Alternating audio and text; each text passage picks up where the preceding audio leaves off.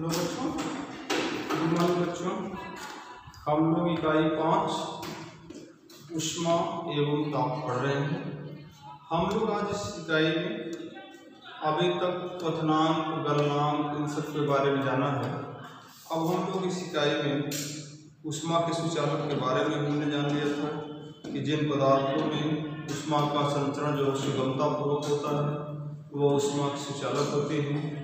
जिन पदार्थों में उष्मा का संचरण सुगमतापूर्वक नहीं होती है, वह उष्मा की कुचालक होती है। उष्मा सुचालक धातुओं के बारे में बताया था।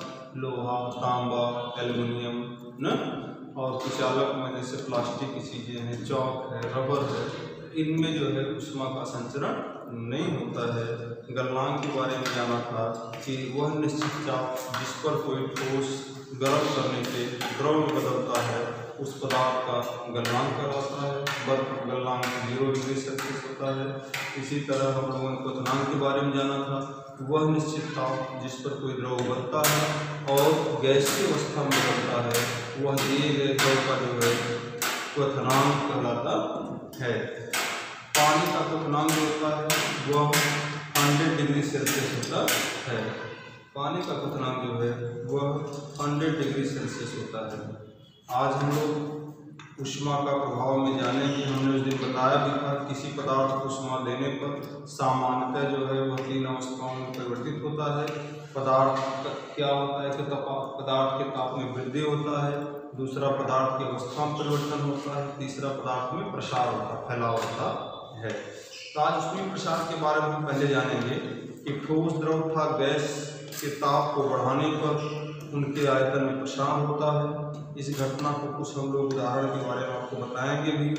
जैसे आपने देखा होगा कि घरों में जब कभी दो बर्तन आपस में फंस जाते हैं, ठीक है? देखा हो गिलास गिलास आपस फंस गए, चिपक गया, कटोरी है, कटोरी कटोरी फंस गई है। तो हम लोग देखते हैं इसको जो है वो गर्म करते हैं, ना? गर्म करते हैं जिससे क्या होता है, उसका जो जिसमें फंसा हुआ है, गिलास, अगर गिलास फंसा हुआ है तो जो नीचे वाला गिलास जब हीट होगा, गर्म होगा तो उसका प्रसार होगा। वो जिस, जो उसकी साइज़ फैलेगी। और जब फैलती है तो उसमें फंसा हुआ गिलास या कटोरी बहुत आसानी से निकल आती है। ये क्यों क्यों हुआ? क्योंकि उस धाप का प्रसार हुआ। जब उन्होंने उसको उष्मा दिया तो उसमें प्रसार हुआ। अक्सर घरों में घटनाएँ आप देखते होंगे। ठीक है? तो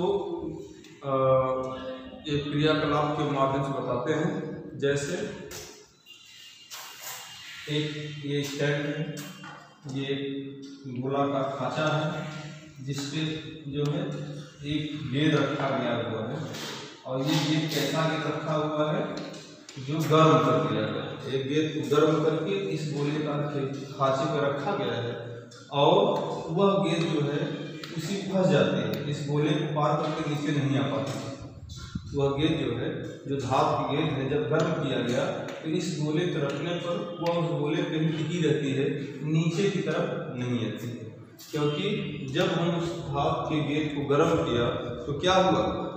इसमें एक, दिया गया एक धाप की एक छोटी गेंद ली हमने गेंद ले लिया। धाप का एक छल्ला जिसका आंतरिक व्यास इतना हो कि गेंद आसानी से छल्ले के आर पार हो जाए। उस गेंद जो वो छल्ला जो है, उसका व्यास, जो उसका व्यास है, वह इतना हो कि वह गेंद जो है, उस छल्ले से जो है आसानी से निकल जाए ठीक है?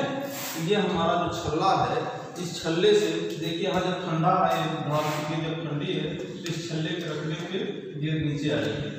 लेकिन यहाँ पे गर्म कर दिया है और इस गेंद को छल्ले पर रखा गया है तो ये गेंद इससे नीचे नहीं आ रही है। ठीक है? गेंद को स्प्रिट लैंप की सहायता से कुछ देर गर्म कीजिए। हमने इस गेंद को स्प्रिट लैंप की सहायता से गर्म कर दिया। अब गेंद को छल्ले के ऊपर रखिए। देखिए क्या होता है। गर्म करने पर गेंद छल्ले के आर पार नहीं जा सकती है क्योंकि ये जब गर्म हो गया तो इसका जो गेंद का जो साइज़ प्रसार हो गया फैलाव हो गया। जिस कारण इस छल्ले को गेंद नहीं पार किया उसी पे टिका हुआ है। लेकिन ये अब जब उसको ठंडा करते हैं, इस गेंद को हमने ठंडा कर दिया। ठीक ठंडा करने पर जब हम उस गेंद को उस छल्ले पर रखते हैं, उस छल्ले पर रखते हैं तो वह गेंद यहाँ से इस गेंद इस पे रखने पर गेंद नीचे आ जाती है। गेंद इस छल्ले को पार करके नीचे आ जाती है। इससे एक रिज़ल्ट हमको मिलता है परिणाम मिलता है कि धाप के ठोस पदार्थ धाप के ठोस पदार्थ जो हैं, वह धाप के ठोस पदार्थ पदार्थ गर्म करने पर,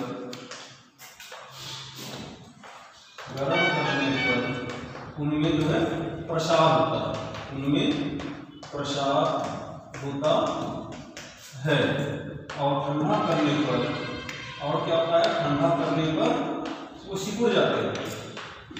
सिकुड़ते हैं ठंडा करने पर सिकुड़ जाते हैं। ठीक है? तो ये चीज़ हम लोगों ने देख देखा कि घाव के ठोस पदार्थ गर्म करने पर फैलते हैं और ठंडा करने पर सिकुड़ते हैं। गर्म करने पर ठोसों के आकार में वृद्धि जो है, वह क्या कहलाता है? प्रसार कहलाता है, फैलाव कहलाता है। हमने भी धातु के बारे में जाना। अब द्रव के प्रसार के बारे में जानेंगे कि का प्रसार क्या होता है। यहाँ स्टैंड में एक वो है, परख नली है। ठीक है? इस परख नली में हम द्रव का प्रसार को देखेंगे कि गर्म करने पर द्रव में प्रसार होता है, एक बर्फ़ नली लेकर उसमें रंगीन पानी भर दीजिए। इसके अंदर जो पानी भरा गया है कलरफुल पानी है इसके अंदर रंगीन पानी। ठीक है? इसके अंदर रंगीन पानी भर दीजिए। और एक कार के कांच की कम व्यास की एक नली लगाकर परख नली के मुँह पर रख दीजिए एक कार की पतली नली उसके मुँह पर रख दिया गया। ठीक है? कांच की नली में रंगीन पानी जिस ऊंचाई तक चढ़ता है। ऊंचाई पर निशान ए लगाइए। हमने निशान यहाँ देखिए। ये सी बी ये निशान लगा दिया है। अब परख नली को स्प्रिट लैम्प द्वारा गर्म करके देखिए। ये स्प्रिट लैम्प है। स्प्रिट लैम्प से हम गर्म करते हैं। Spirit lamp.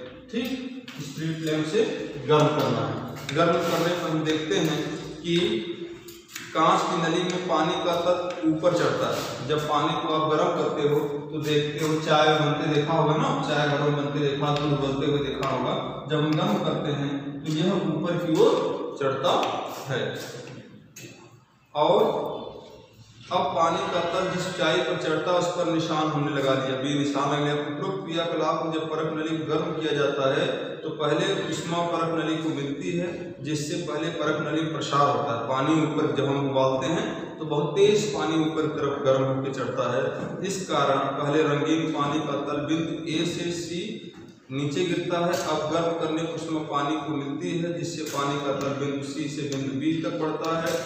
बिंदु ए से बिंदु सी तक तल में गिरावट परख नली के कारण, परख नली के प्रसार के कारण होती है।